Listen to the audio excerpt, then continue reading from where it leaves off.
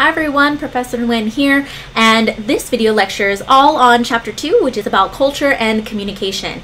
In this chapter, we are unpacking a lot of commonly used terms such as culture, race, gender, ethnicity. We're going to figure out the differences between those two. We're going to learn why culture is important to us as communicators. We're also going to learn different strategies for enhancing our communication competence by enhancing our awareness of culture and identity.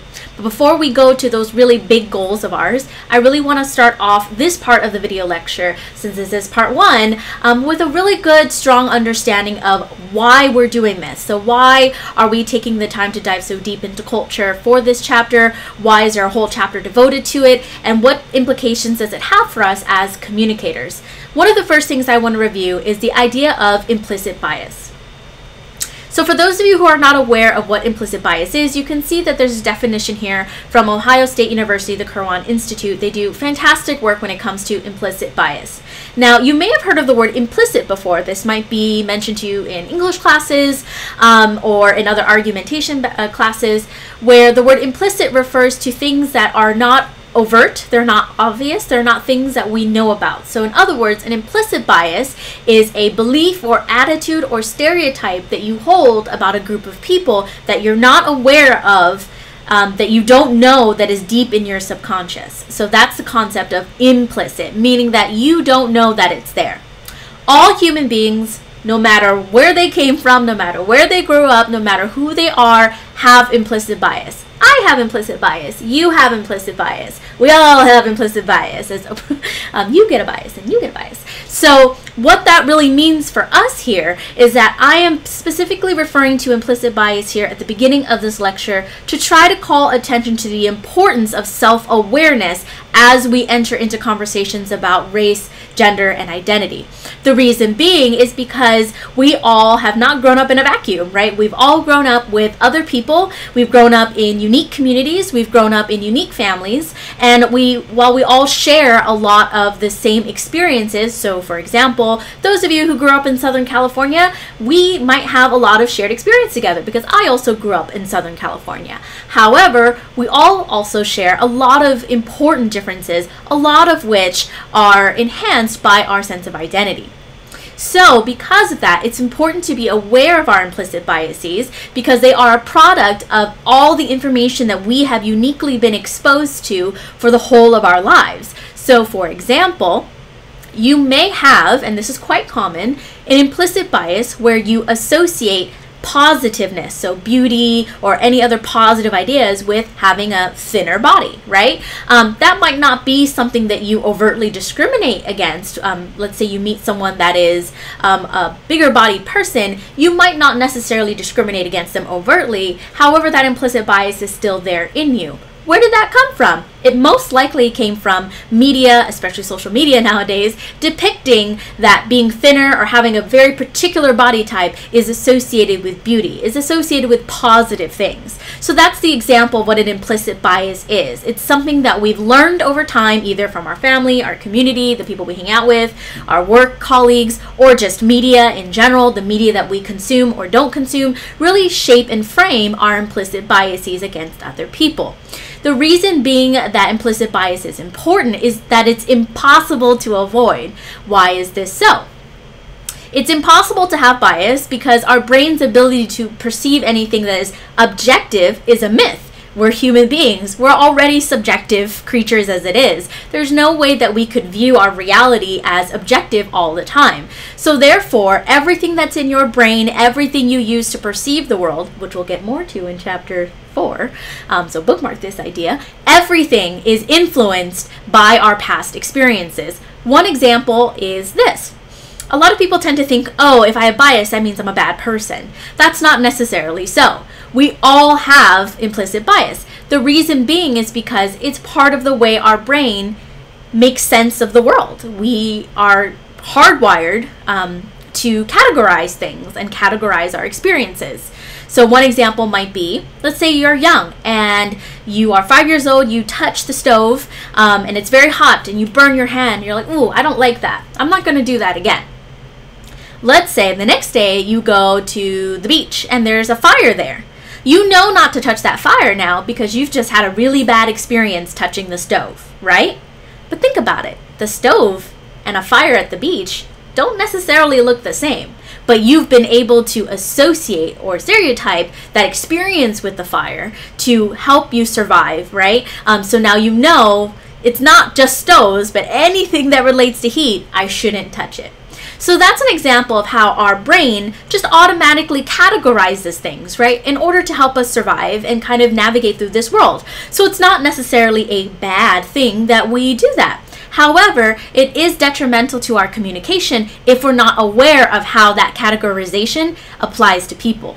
Because guess what? No matter what, fire is going to be fire, right? Fire is always going to be hot. Fire is always going to be a possible source of danger, right? And so we can categorize fire in that way, and it makes sense. However, people are complicated. People have a lot of different factors to them. So it's hard and difficult and actually really detrimental to us as human beings if we start categorizing other human beings who have the capability to change, who are complicated, the same way that we would categorize fire. Does that make sense? So we can't objectify human beings that way. Um, so that's why we have to become hyper aware of the implicit biases that we have internalized. They are very, very pervasive. So even people like judges who try to stay as objective as possible when they're judging um, a case can still be um, sub- subjective in a lot of different ways. Um, that's why, for example, our criminal justice system doesn't necessarily always reflect fairness and equality and equity for all of the people that um, have to go through the criminal justice system because our system, because it's objective, doesn't necessarily treat everybody the same. However, remember that implicit bias is something that once you're aware of it, you can confront it and unlearn it. So it's not like you're stuck with implicit bias forever. Um, we are able to mitigate or kind of stop the bad effects of having implicit biases if we just self reflect and are aware of them. One of the things that is generally pretty interesting for me and like I put here for you to review is that we generally tend to hold positive or are in favor of um, implicit biases that favor our own group. So, for example, we might think that people our age are more interesting or more fun and exciting, right? Um, we might have negative biases against people that are different age groups than us. Um, and one of the ways that we can mitigate that or kind of fight against that urge is to expose ourselves to different types of people with different ages, right? And so implicit biases, therefore, are malleable, meaning they're flexible. They can change and grow over time, and we can unlearn them just as we have learned them. One thing I will warn you on, though, is that implicit biases, because they're implicit, meaning they're in your subconscious, right? You're not aware that you have them. Because of that reason, they may contradict what you publicly believe. So, going back to my example of maybe having an implicit bias against those who have larger body types or different body types that are not the norm for what our beauty standards are here in America. One of my students um, so bravely shared one day in class, and she has given me permission to share this story. Um, she actually um, has uh, uh, tested in the IAT, which is the Implicit Association Test, which is what I'm going to have you all do as an assignment for this uh, for this module for this chapter. When she took the Implicit Association Test, which is a test that um, basically tests you for implicit biases in different categories. She decided to take the weight one because she was someone that um, always struggled with her weight, was bullied for um, being a, a, larger bodied woman, and so therefore she struggled a lot with being um, bullied for that. And so she decided to take the weight implicit association test. She had hoped that she would test that she would have a positive association with people who have bigger bodies. However, she actually tested to demonstrate that she prefers people or has more positive perceptions of people with thinner bodies. And she was shocked by this. And after further self reflection, she realized that that deeply ingrained idea that thinner bodies are better is something that isn't something she created, but something that she learned through many, many years of seeing only thinner bodies widely represented in the media and widely favored when it comes to everyday conversation. And so, because of that, even though she explicitly, meaning she consciously, believes that all people and all bodies are beautiful, she still held the implicit bias of being of preferring thinner bodies or associating thinner bodies with beauty or with more positive value. So that's an example of how our implicit biases don't necessarily always line up with what we actually explicitly believe, which is why it's even more important that we interrogate these implicit biases and really self-reflect on where we learn them from. from. More often than not, these implicit biases have been socialized in us over time, and it's important for us to confront them so that we're aware of them and they don't affect our communication. Now that we've taken a look at implicit bias and how we all have it, um, I want you to now orient your mind into understanding what culture is, how we have developed culture as human beings, and how it really links to what our chapter is talking about here. Please remember that since we all have implicit bias, don't feel like you're a bad person if you test in the IAT and it shows that you have an implicit bias that's negative toward a particular group of people. That's totally okay. If anything, I want you to confront those ideas so you can self reflect on where you learned them from and ultimately negotiate them so that they aren't staying permanently as implicit biases in your head. Make sense? All right, let's get to what culture is. The word culture, I think, is thrown out a lot in everyday conversation, and I really want to ground us in the social scientific definition of it, the definition I will be using for our course, and of course, the definition that our textbook authors talk about here. Um, Samovar is a fantastic researcher, and the definition that I love to use comes from Samovar.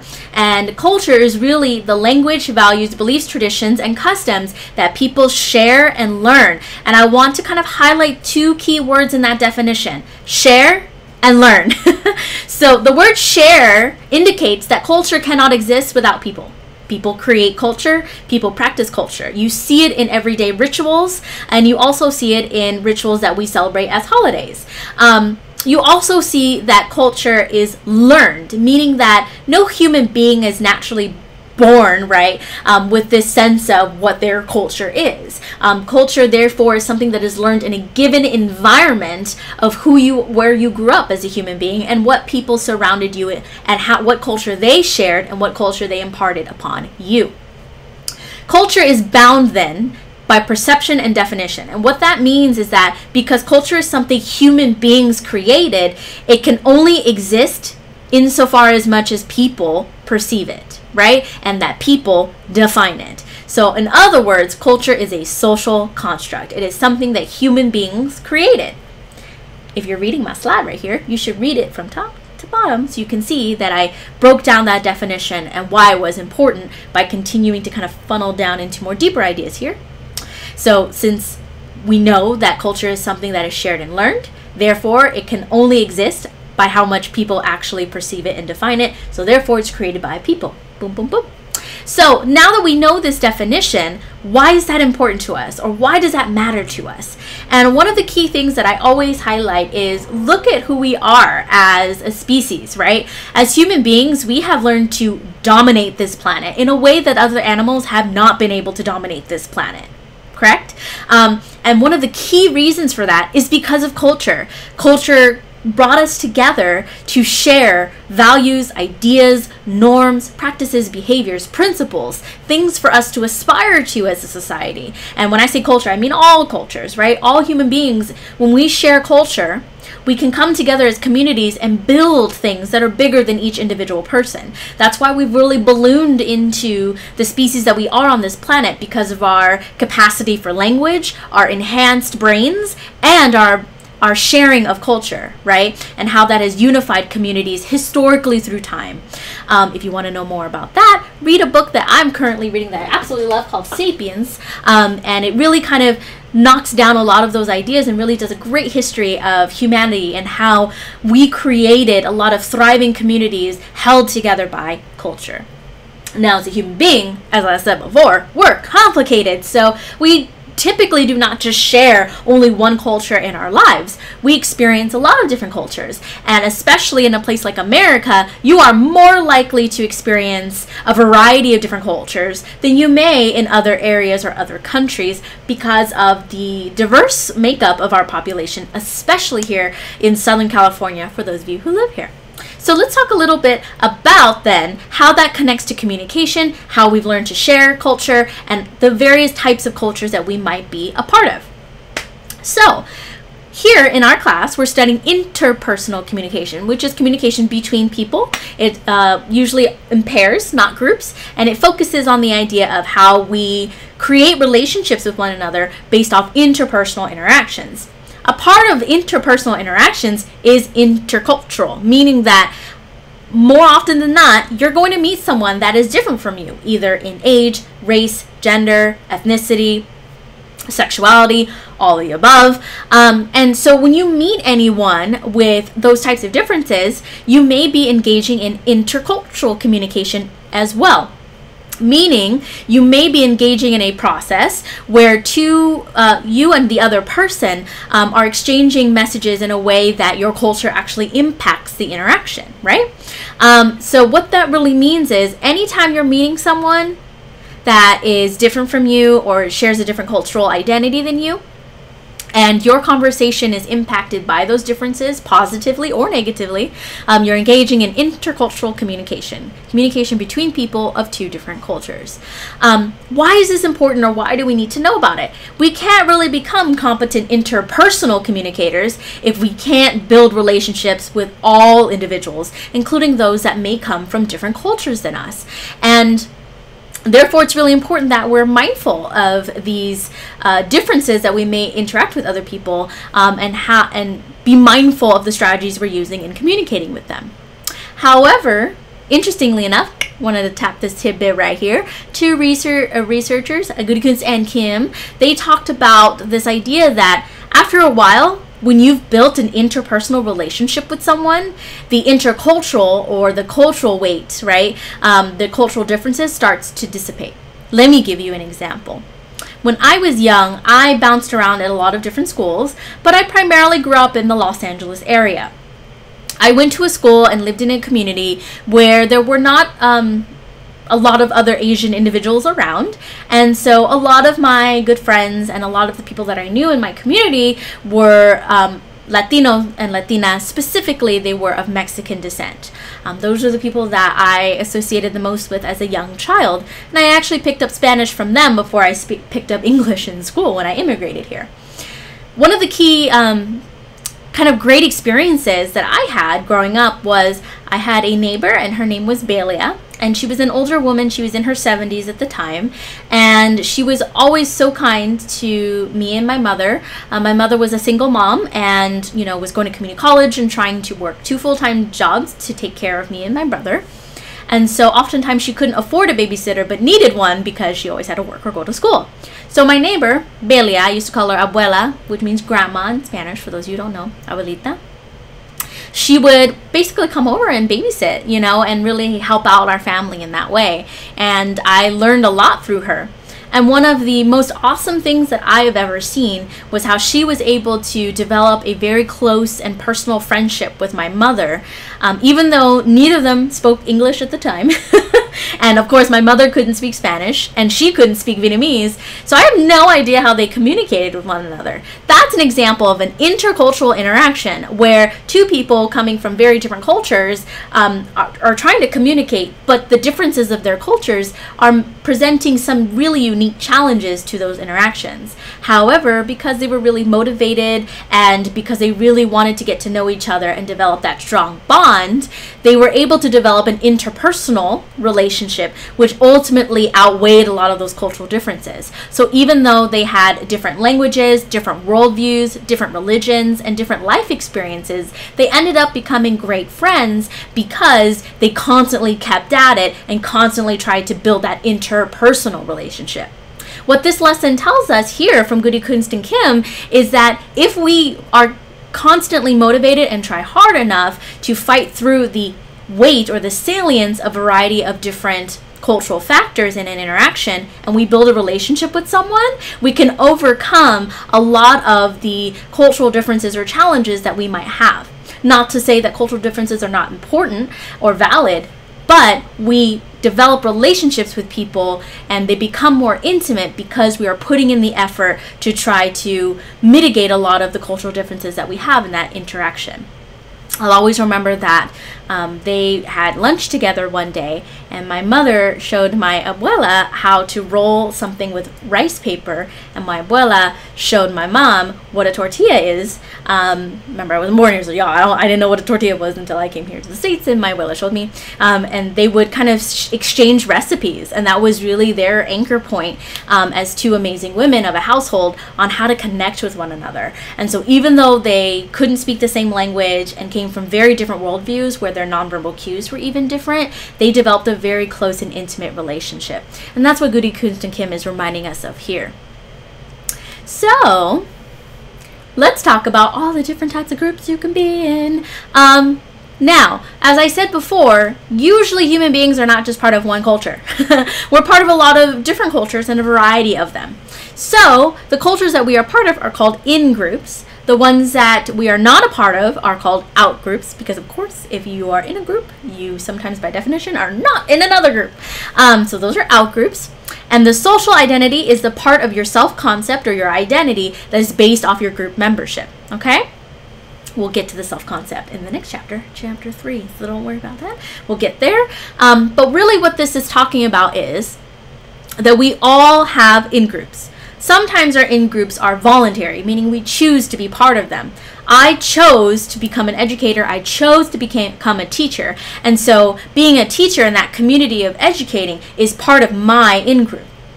However, I didn't really choose to be born a woman or choose to um, uh, be born Vietnamese, right? And so a part of that, uh, my in groups are not voluntary, meaning that I see myself as a Vietnamese immigrant. That's an in group of mine that is not voluntary, meaning that it's just a part of who I am because of my life experience. An out group, therefore, are groups that we view as different. And so this um, this refers to this idea that groups that uh, when we're looking at other people and examining their experiences, if we can't really connect to their experience, most of the time that means we're an outgroup of them. So, for example, a lot of individuals that have immigrated here have this shared experience of being an immigrant if you were a natural born citizen in the United States, you might see immigrants as an out group because you see them as different, right? Um, because of the way that they came to the States or their process, right, of coming to live in the United States. Out groups are something that we have to be mindful of because it's not, again, just like implicit biases, we all have out groups. We can't all be part of every group, right? Um, as a person that does not have a disability, I am. I, persons with disabilities are part of one of my outgroups, right? That's just kind of naturally how it works. But because of that, I have to be mindful of it and remember that since they're an outgroup, I should be more respectful and empathetic when I'm speaking with them because a person with a disability, since they're an outgroup for me, I will never know what it's like to live with a disability. So, therefore, I make sure to change my communication and be more mindful, listen more, and value them more, and make sure I practice empathy um, and be supportive when I'm speaking to those who are. Um, who are persons with disabilities. So that's a personal example of mine. Um, think about the outgroups that you are not a part of and how you may never experience what those outgroups experience. However, how can you use your communication maybe to understand a little bit more about them?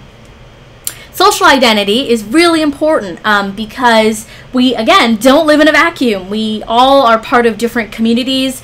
Um, you may be part of a religious community, a, um, a literal physical community, right? So here I live in Long Beach and I love my Long Beach community. Um, you may be part of a variety of different uh, communities. And so because of that, a part of your self concept um, is is extracted from your membership in that group, right? So social identity, therefore, refers to this idea that the groups that we are a part of help to define our own personal identities, right? We are products of our environment, even though we are all unique individuals with our own personalities and our own world experiences, because we don't live alone and we live with other people, whether in big communities or small communities, a part of our identity is going to naturally come from or stem from the membership that we have in different groups. Co-cultures refer to um, different smaller, I, I, like to think of them as kind of like subcultures within a culture. Um, so in the United States, we have, you know, this kind of American culture as a whole, but even within the United States, we have a lot of different cultural communities that are incredibly unique, vibrant, and thriving. Co-cultures involve this idea that you can be part of this bigger, wider community, uh, this bigger, wider culture, and you can also share a lot of other different group memberships. So, for example, I see myself as belonging to the wider culture of being an American, right? And being part of American culture. I listen to American music, right? And consume American media. And in a lot of ways, I'm an Amer- I practice American culture through that media that I consume, the way that I'm speaking right now, and the clothes that I wear. However, I also belong to a lot of different co-cultures, such as being Vietnamese. I also belong to the co-culture of being an immigrant, and I also belong to the co-culture of being an educator, like I said before. So you can kind of share a lot of other memberships beyond just the over-encompassing cultural membership that you have based off the area or country that you live in. So, with that being said, I hope that this lecture helps you helped you get a better idea of why we're doing uh, why we're studying this, why we're taking the time to examine culture. Um, I hope that learning about implicit bias has shed some light into how we all carry different ideas and values about other groups of people and how we can kind of manage those identities and those ideas by being aware of our implicit biases. We've also reviewed in this video the definition of culture and what it means and why it's important, and ultimately why culture is such a uniquely human process and why it should be celebrated for that reason. In the next video, we're going to dive even deeper using these foundations to understand cultural values and race, gender, and identity. See you all soon. Bye.